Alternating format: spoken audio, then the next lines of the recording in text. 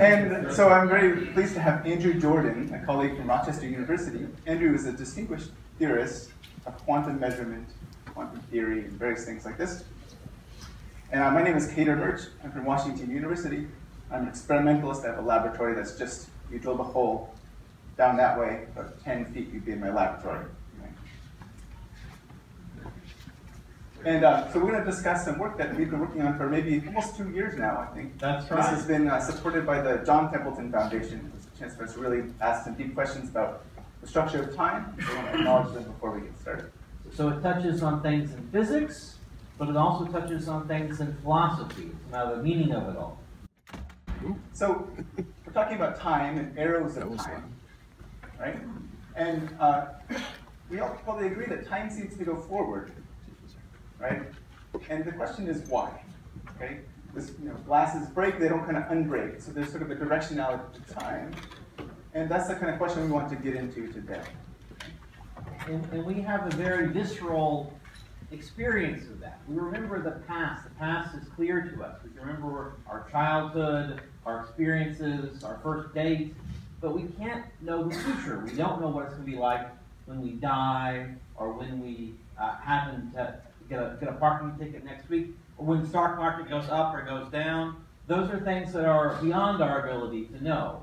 And is it the case that those things don't really exist until they actually happen? Or maybe they actually really exist all the time, and we just are sort of gliding along, uncovering pre-existing events that just happen to be there. Yeah. So the arrow of time, well, physics has a fancy name for it, and it's called the second law of thermodynamics. And it's a kind of a funny law in that it's, most laws are this works this way always, but the second law of thermodynamics says entropy, which has to do with maybe disorder and so forth. We'll talk more about that. But entropy sort of always increases. Generally, it increases. Sometimes it decreases, but most, for the most part, it decreases.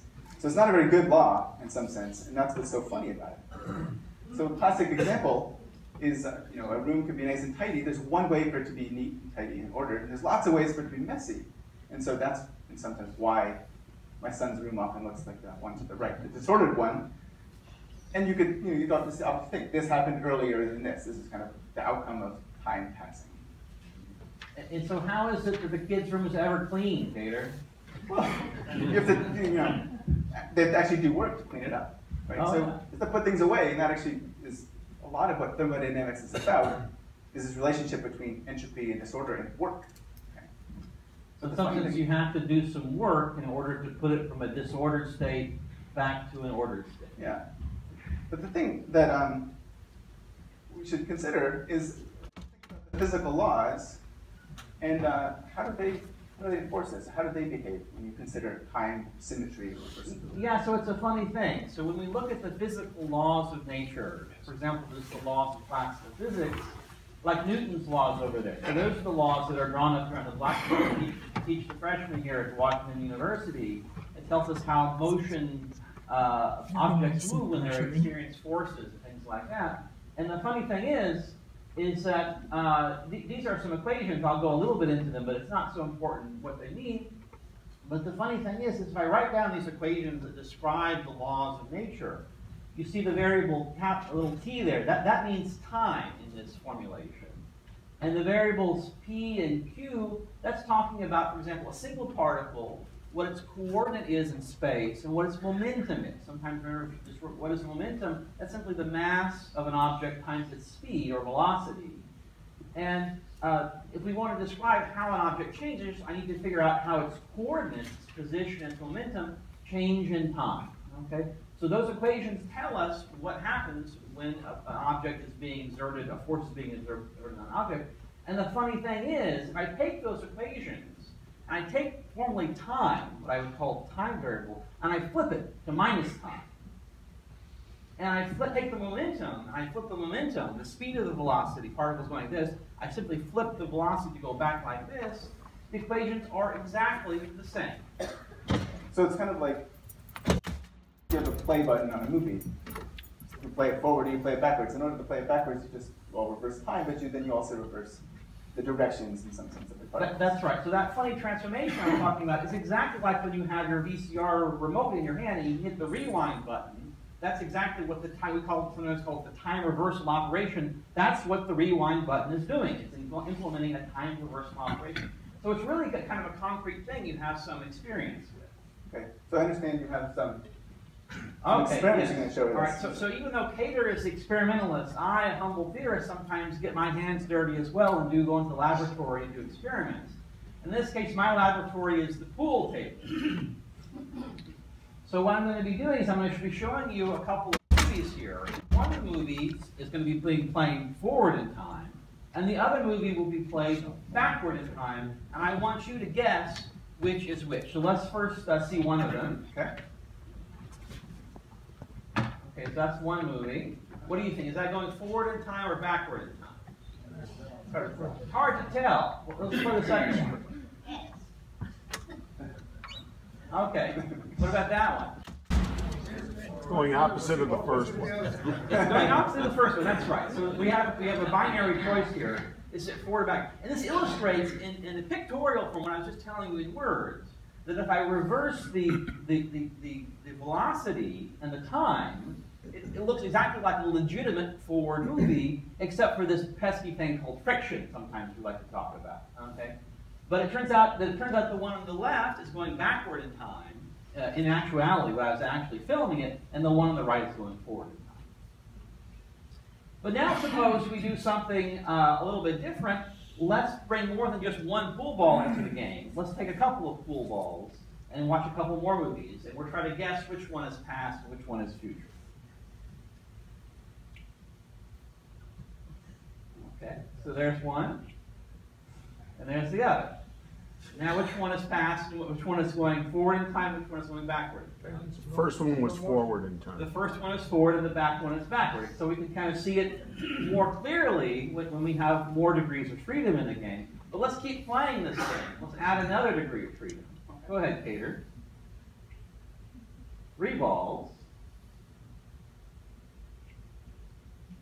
And now it begins to tell. You can say, oh yeah, the one on the right, that was the funny one, right? That's the one you don't usually see. Okay, let's take this to an extreme level here, Kater. okay. And now we begin to think about not just past and future, but we're thinking about Kater's son's bedroom again, about order versus disorder. So let's watch this movie. The pool break. and the unbreak. Okay. So the unbreak, I tell you with all honesty, is a physically legitimate evolution. If I gave it, okay, forgetting about friction, if I gave all those balls exactly the right speed and position, that backwards movie is allowed by the laws of physics. And even though it's allowed by the laws of physics, we can still tell the difference about which way time is going by this uh, argument that Kater was giving about the transition from order to disorder. We know on the right-hand side, that's a special configuration. That's an ordered configuration. Whereas, the, and there's only only a few ways of putting that array of balls together. But on the right, that's a more disordered way. So there are many ways of putting that configuration of balls together. But Andrew, That's why you need cues to play pool. push them around. But, but if you look closely, I see future and past. You if we look closely at one of these pool cubes, uh, or pool balls, you look really closely, we know that they're made out of atoms and molecules. And atoms and molecules and so forth are described by a completely different type of physics, that is quantum physics. So that's isn't, right. isn't the game up? I mean, is, isn't the answer deeper in some sense? That's a good question. So maybe we should not be thinking about the laws of Newton's laws, but perhaps this mystery about past and future could help, we could solve this mystery if we understood more deeply what the laws of quantum mechanics are telling us about reality. Okay, well, here's some quantum laws. What do they tell us about? Okay, Time yeah. Okay, so we have some more equations up there now. And just like we were showing some equations before that was telling us about how balls move, for example, under the influence of forces, in quantum mechanics, we have to have a new set of laws. This is the physics of the very small. So rather than a position and a momentum, like those are quantum or classical coordinates for a, for a particle, we have a new set of coordinates, and that coordinate is sometimes called a quantum state or a wave function. And they write it with this funny Greek letter psi over there. All right, so, so we had Janus, the Roman god of time, and now we're going over to the Greeks to, to write our equations. Uh, so we have the this is this is a equation discovered by the Austrian physicist Erwin Schrödinger. And the funny thing is, you might say, well, maybe this tells us about uh, why the arrow of time emerges. Let's think about this law of, of motion. This tells us how this quantum coordinates, the wave function, changes in time. Let's do the same game I was playing before. Let's flip the time to the minus the time. And it turns out that the analog of flipping the momentum to minus the momentum here is basically complex conjugating the wave function. It's a bit mathematical. There's just some transformation we do. And lo and behold, we do all that, what happens, Kater? Well, it becomes the same. It's just like playing the movie backwards. It's exactly the same as it was same before. equations. So going backwards in time in quantum mechanics is fully legitimate. It's just like you would be going forward in time in quantum mechanics as well. But what about measurement? Ooh. That is, measurement's a funny thing in quantum mechanics. It's not as simple as using a ruler to measure things, of course, because this ruler is made up of atoms and molecules and so forth. So you got it- Yeah. it's tricky. And what I remember about measurement is that you have some sort of spooky quantum superposition. Have you heard of this before? Mm-hmm. Yeah, superposition, and you measure it, something happens. You know what that's called? Collapse, It's like this. And this is actually what I study in lab. You can see we do it St. Louis because there's art. so this, this, is, this is one of the profound differences, Kater, between quantum mechanics and classical mechanics. Because in classical mechanics, the act of measurement is almost a trivial operation. You say we have some intrinsic reality that exists.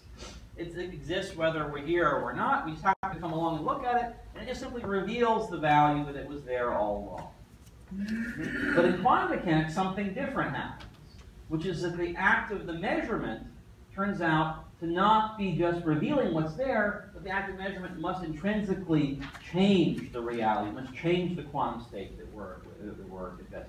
Hmm. So one of the great paradigms, now people didn't like this when this was first discovered. People really hated this idea.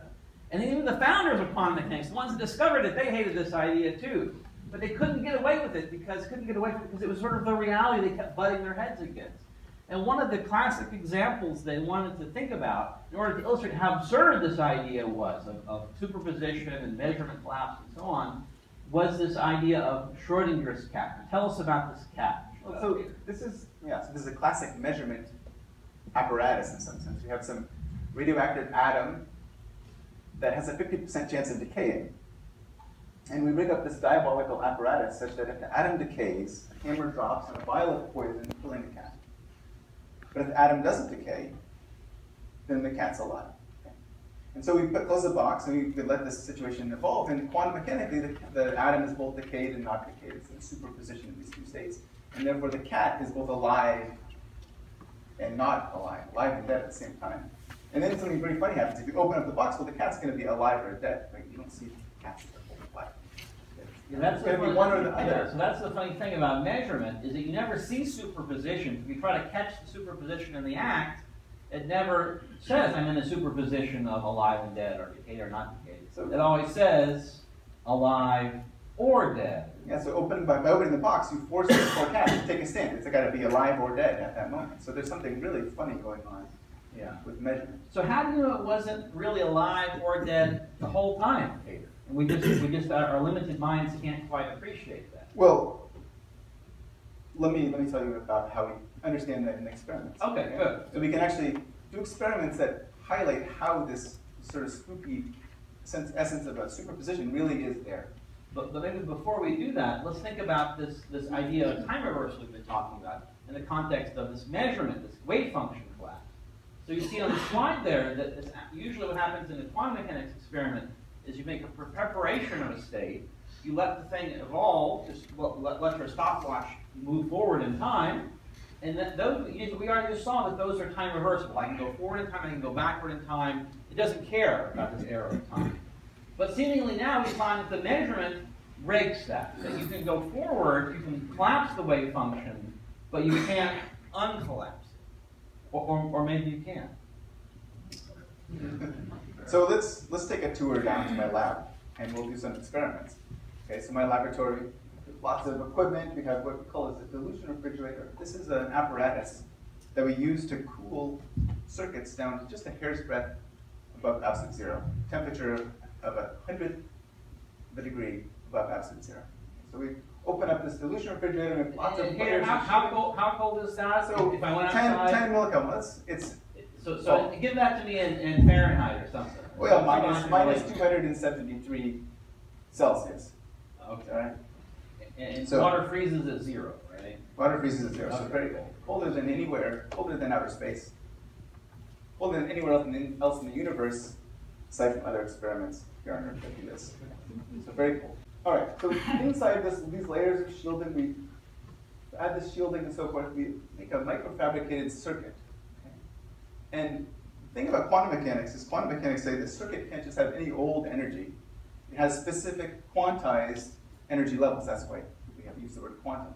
Okay? So we have these two energy levels, a lower energy level and a higher energy level, and we hide this, these sort of quantum energy levels in a box. Okay? So let's just simplify away all of the, the, the complication of this experiment, and let's just consider what we're actually looking at, which is um, described very well by this analogy.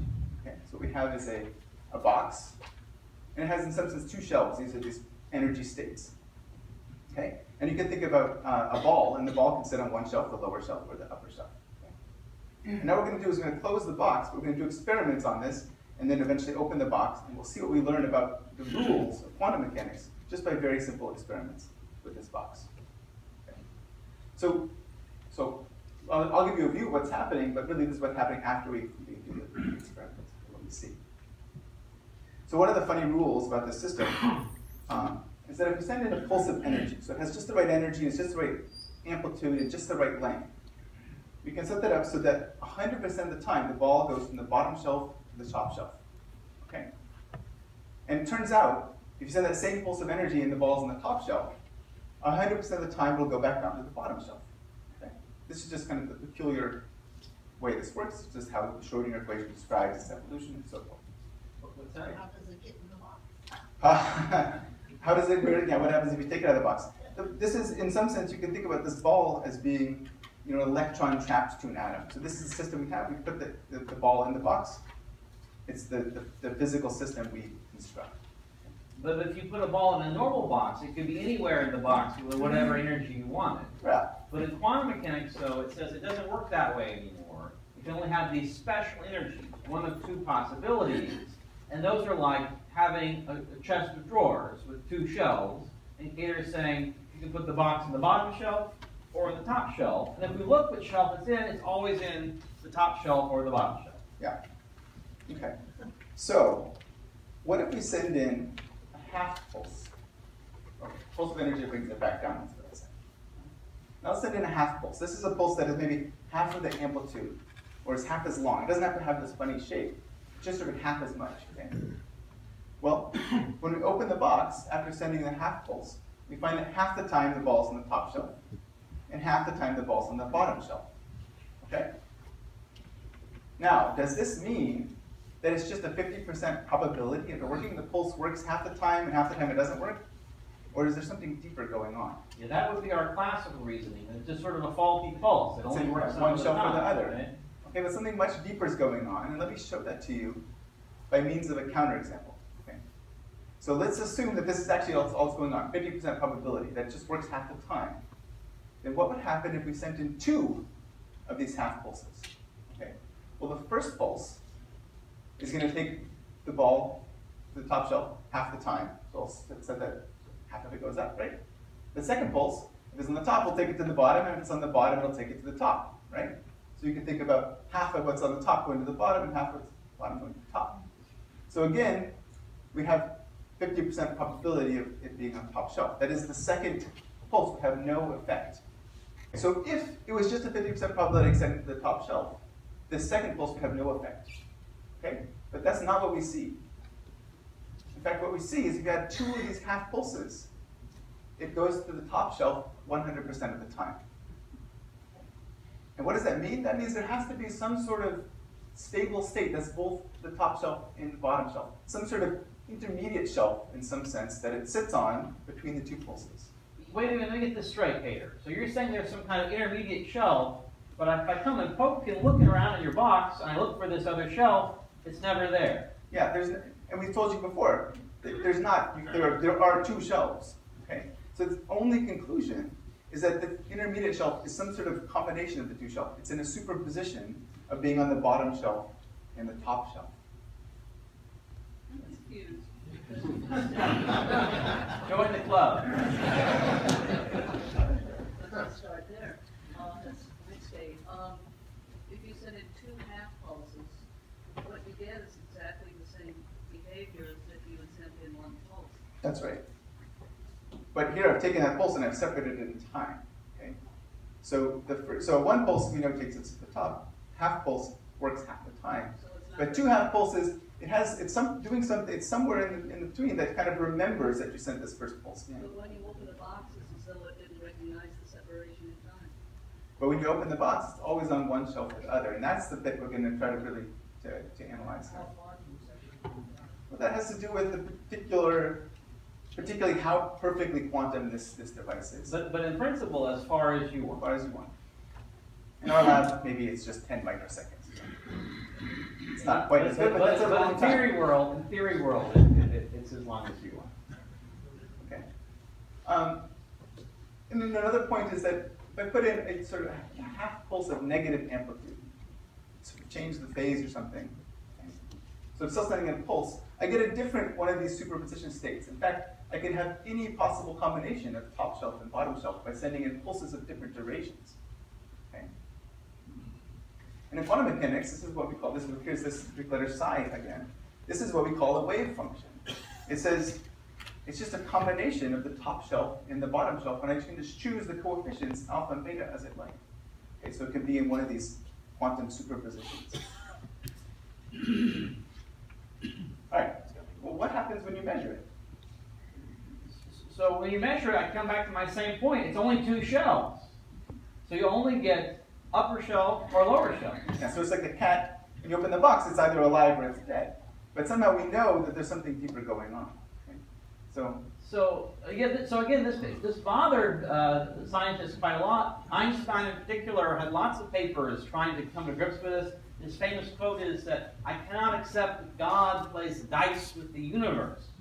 hmm, But yet we're saying fundamentally that once we make this measurement, the, the, the, the, the, the, the result that we find is intrinsically probabilistic. So go back to your previous slide for a second there, Kater.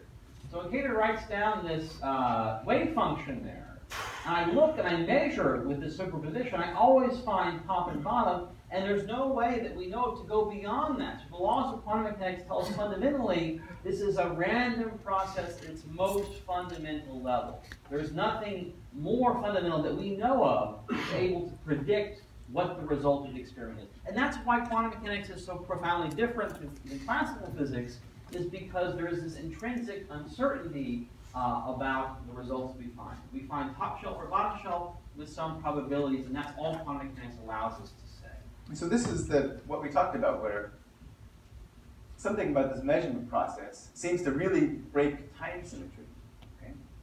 Or does it? The question is, can we take this process and can we measure it in a more gentle way? Yeah, so what, instead of just sort of nakedly ripping the band-aid off, opening the box and seeing if the cat is alive or dead, what if we did something not quite so drastic and we sort of peeked at the cat? Is there, is there something we can learn from So that? like, what- for example, I can imagine um, cutting a tiny hole in the box okay, and sending a very feeble laser beam through the box, okay, just one or two photons at a time, and just very slowly peek at the box. And that's the kind of experiment we're going to do. Okay? And in order to understand what this, how the experiment makes sense, let's first calibrate the apparatus. Let's put the ball on the bottom shelf and just sort of see what happens when the light comes through. Okay? So I've cut a tiny hole in the box, I'm sending in the laser, and I'm measuring with a detector, counting photons. Okay? And I'm getting, say, three photons, two photons, one photon, five photons, four photons. It's kind of strange. The, the stream of photons is not perfectly steady. That's also sort of a quantum feature. It's shotness of light. The fact that it comes in individual photons, they don't line up in a neat queue, but they actually kind of line up in a random fine. Okay, but we get three photons, two photons, one photons, five photons. So on average, we maybe get three photons, but sometimes we get more and sometimes we get less. Okay, so it's a sort of there's some uncertainty. Okay, now let's stick the, the ball on the top shelf. Remember, we know how to do this. We send in one of these whole pulses. It's the top shelf. Now we send in a laser beam, and we get five photons, four photons, two photons. We get slightly more photons through on average. You can imagine that the ball's on the top shelf it's blocking less of the laser beam or something. And so I plotted a histogram of what happens when we have the ball on the top shelf. That's in red. It's there on average is five, but sometimes it's as few as three. So in a way, you're saying we can use this counting of photons as a kind of a, a noisy detector to figure out is it in the top shelf or the bottom shelf if we were to average over a bunch of Yeah. events, something like that.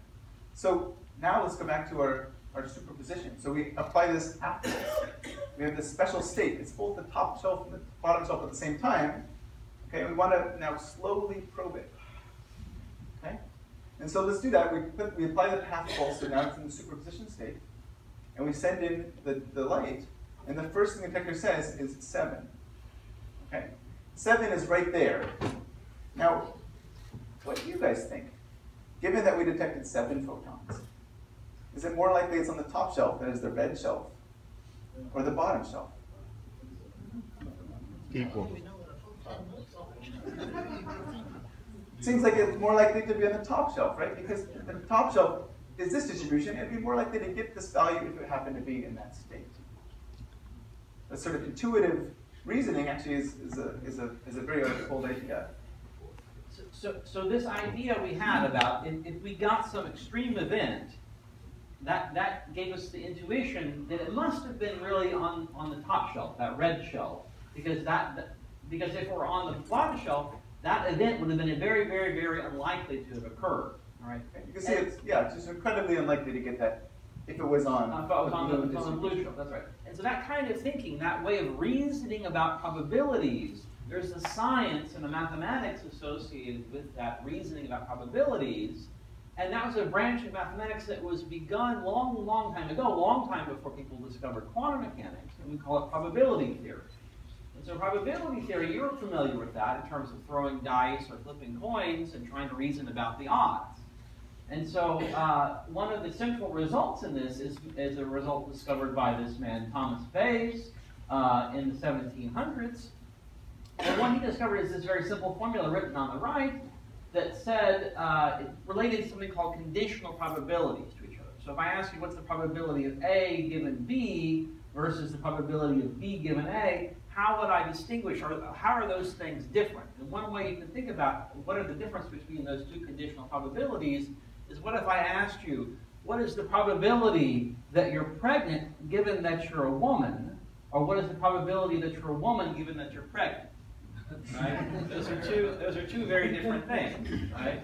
And and so uh, so, so this little formula allows you to relate those when you flip the conditioning of the two propositions. So you can think a little bit about B in terms of doing science. This will help us allow us to, to change our mind about the odds given new information. So if I think about think about B, this proposition B, as some experiment that I've done, and I acquire some new bit information, and that allows me then to change my mind about the likelihood of some other event A given this new information.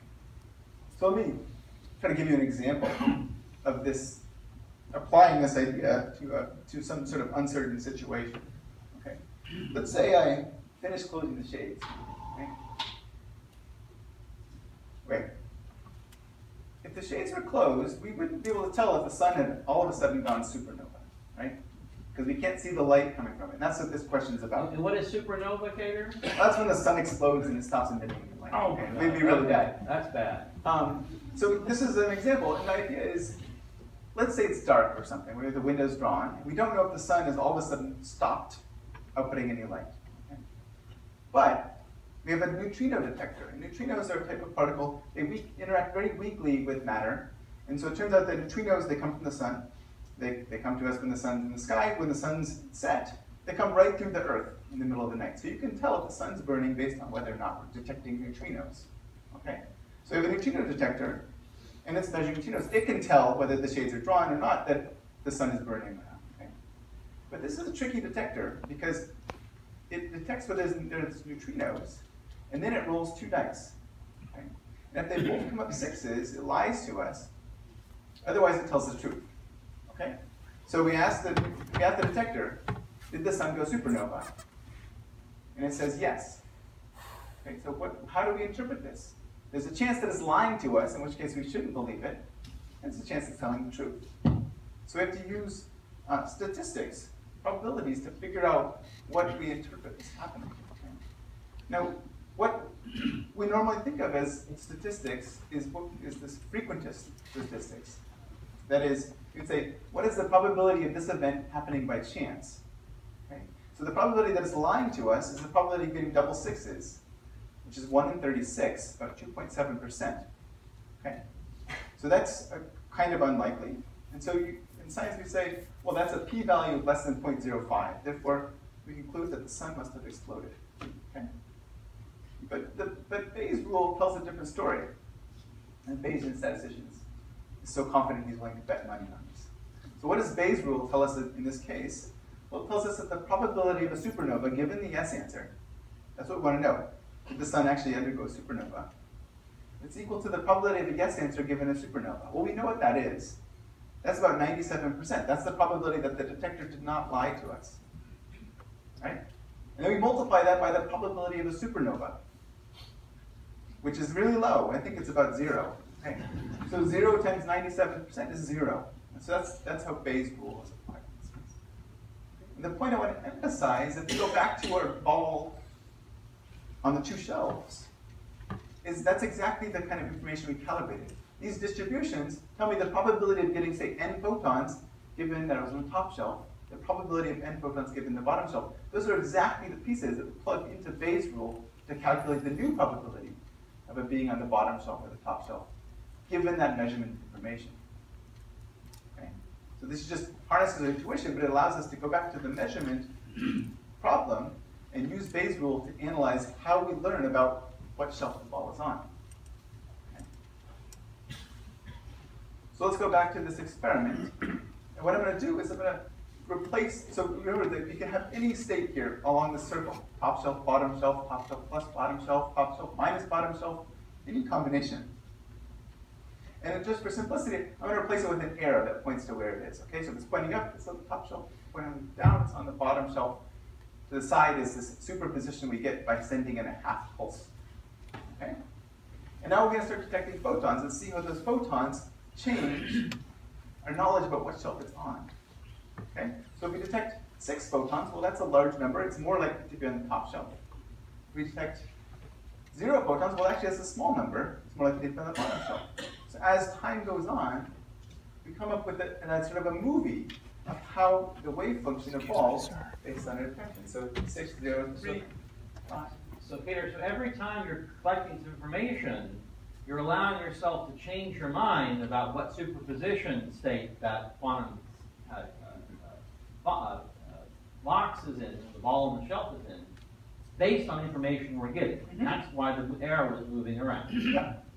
We have a quick question? Uh, I don't understand the photons that you're collecting. Are, I mean, you're, you're putting photons into the box, and the photons are coming out, where are they coming from?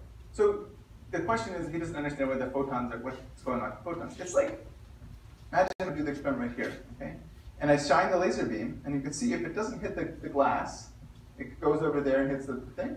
But if the glass happened to be over here, then all of a sudden the, the photon flux is slightly different.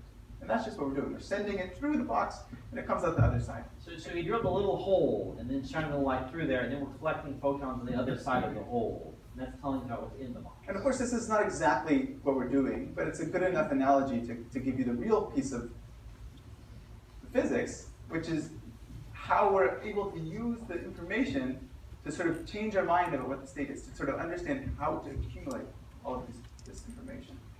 You for an average, you didn't depend on one measurement when it was known the top or the bottom. That's, so the question is, So one measurement uh, when you've got a superposition doesn't tell me anything either. So- I need the average. that's right. So in, in fact, in this case, the question is, the statement is you need not just one measurement, but you need many measurements. You need to know the average. And that's exactly what we're doing. As we detect detect photons, we're sort of updating the average. And in fact, the average in this case is all that really matters. Um, but can, as it goes on, we keep adding these new pieces of information to our prior information about the state. And that gives us a movie of wave function collapse, a movie of how the measurement takes place. Okay, so if I play from the beginning, you start here, and it's just jiggling up and down as we randomly detect photons. But eventually, maybe the average goes to a large value, and we're quite confident that it's on the top shelf. How long is the time interval? The time interval here in the, in the actual experiments, which is how long is the time interval, is typically on the order of 20 nanoseconds. Okay. But it doesn't really matter. It just sort of, we have to do it fast before the superposition state falls apart for other reasons. So that's just a technical concern. It doesn't really matter what the time interval is That's for for each, each measurement that you, uh, Yeah. photon measurement? Yeah, yes, so, so your entire duration of the movie, how long is your whole movie in your lab? Oh, To go, it's to about, go from it's superposition about to. two microseconds. Two So microseconds is the total we movie. can take a lot of movies uh, in, a, in a minute. We do. Okay, so this, the idea is that the information changes the state of the ball, or our knowledge, uh, the state of the ball is conditioned on the information we've acquired. That's the basic idea. For your knowledge of the state. Yeah, so it's kind of strange. Why, why would our knowledge, or you know, what we've learned, matter at all? But of course, in some sense, we're, we're part of the problem. We're the ones opening the box. That, that's the deep thing about quantum mechanics, is that somehow we find it's very difficult to separate our knowledge of the thing from the thing itself. And that's one of the deep, the deep problems. That's one of the things people have been struggling with since the dawn of quantum. And so to prove that this is really what we do, uh, here's, here's some actual experimental data, okay? We actually do this, and these are what these movies look like. Um, one of the, each one of these colored traces is a single run of the experiment, and how the probability goes from it being on this top and bottom shelf to, say, top shelf, or the bottom shelf. Each time we get a different random outcome, okay, the, the movie is slightly different, and the question is, you know, can we now look at these movies in the same way that we looked at the movies in the pool hall Yeah. and make guesses about? But before we get that, let's think about whether or not it makes sense to play these movies backwards at all. Okay. So, let's see. An idea of measurement reversal.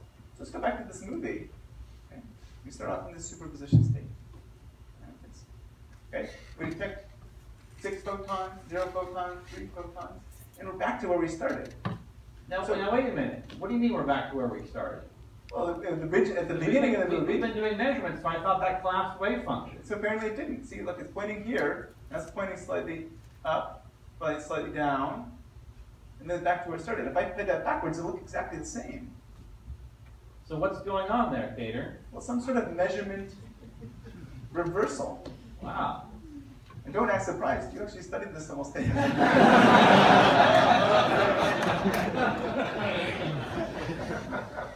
and you can see this in the actual experimental data. Okay? So if you look here, this, uh, this green trace it goes down and then up and then back down again. It's where it started. Every time one of these trajectories crosses the horizontal line, that's in some sense a reversal. Okay? You could play it backwards and it would look the same.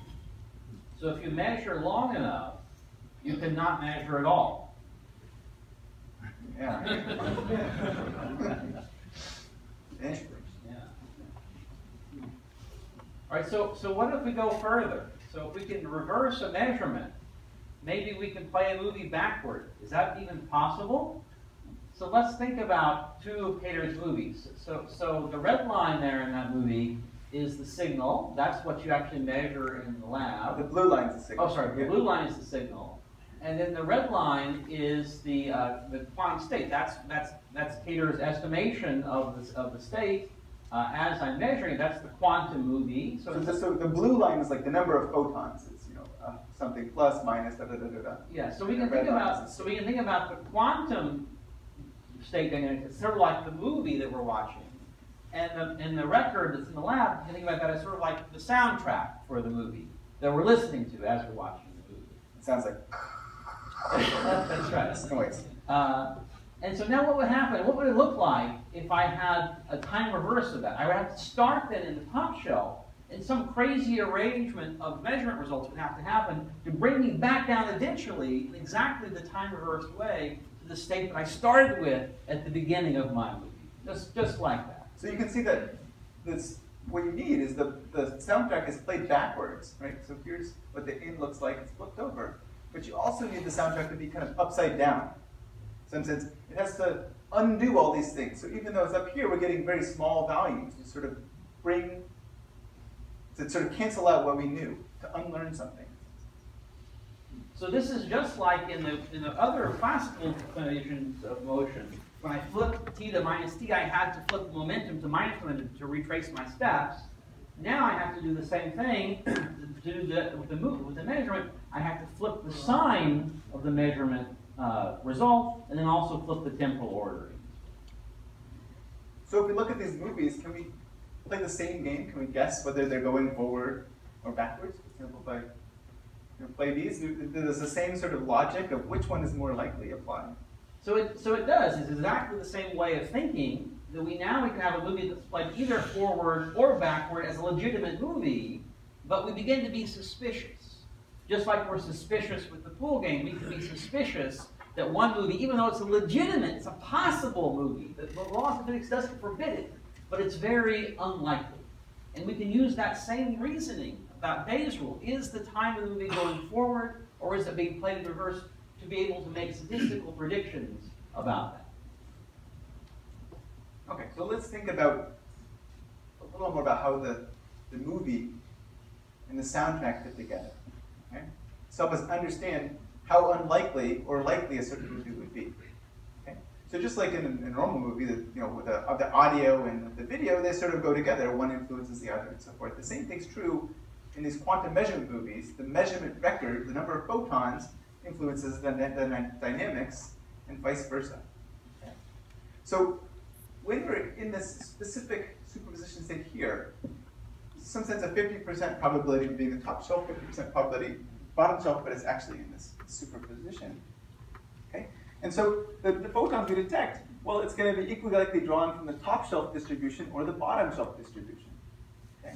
So what I can do is I can take these two distributions and I'll just merge them into one slightly wider distribution. And we can think about what is the probability of getting certain results. Okay?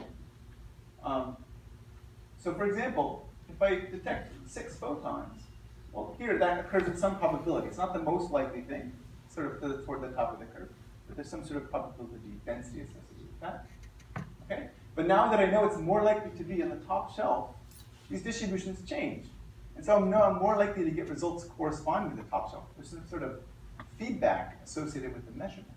So let me get this straight. You're saying you make a measurement, and let's suppose it's a large photon number. That means it's more likely to be on the top shelf. So I change my mind and I get more on the top shelf. But that then shifts the whole distribution over. So the next one is going to be telling me it's even more likely that I'm on the top shelf. Right? Yeah. Okay. Okay. So, for example, um, okay, maybe then I take, take, take, take this many photons, the distribution will shift back. So in some sense, I can figure out what the probability of a certain movie is by just multiplying together these probabilities, P1, P2, P3, P4, the probability of each detection.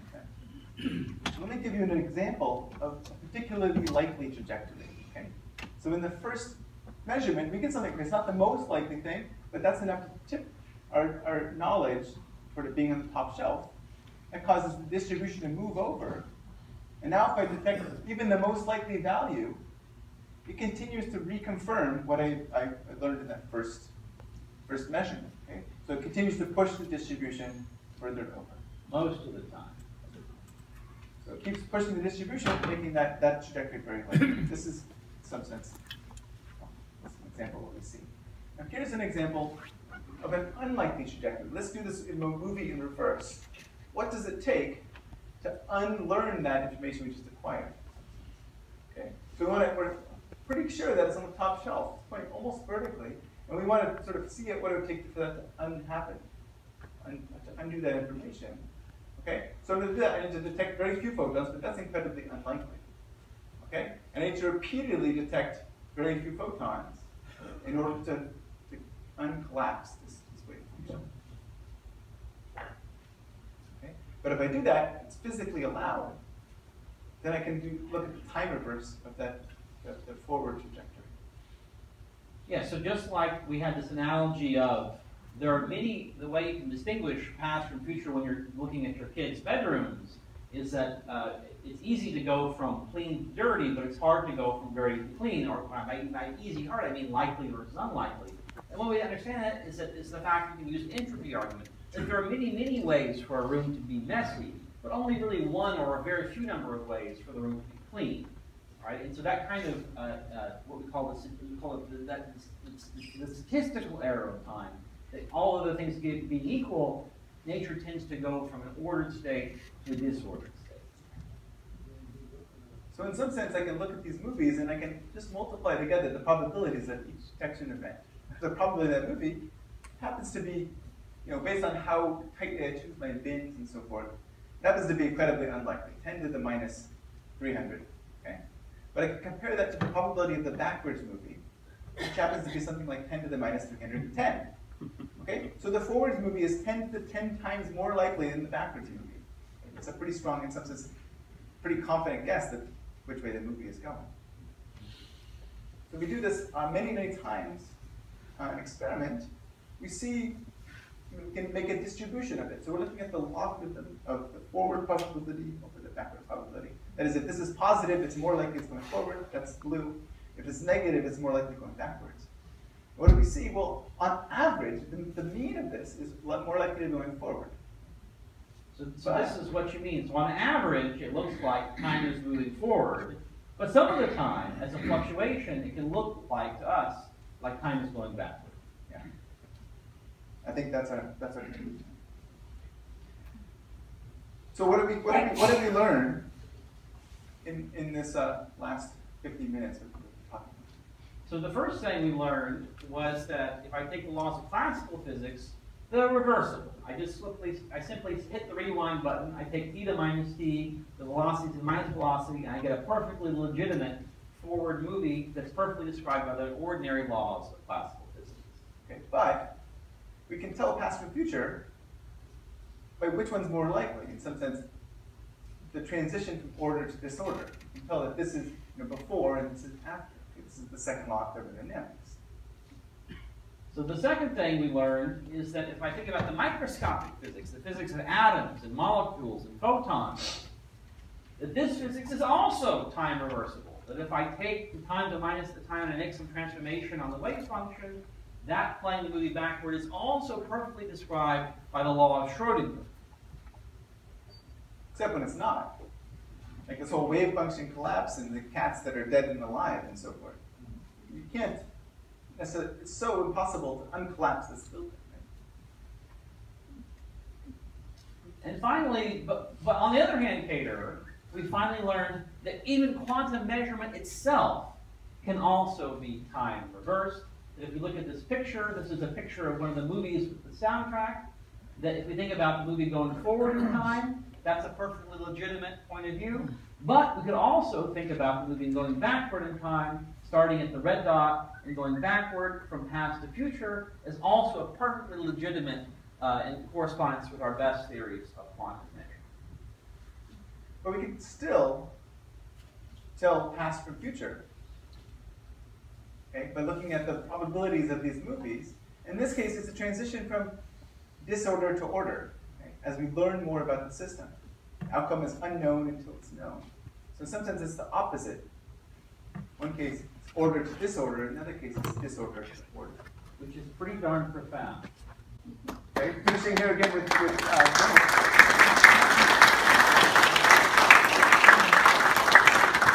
Let us quickly acknowledge uh, some of the wonderful people who helped with this work, uh, various collaborators on the world. And our funding sources. And there's our logo, logo for our talk. So we have Janus looking forward in time, looking measurements going essentially from past to future and getting results. But equivalently, the backward Janus face could also be looking from future to past with a different set of measurements and simply time reversing those results.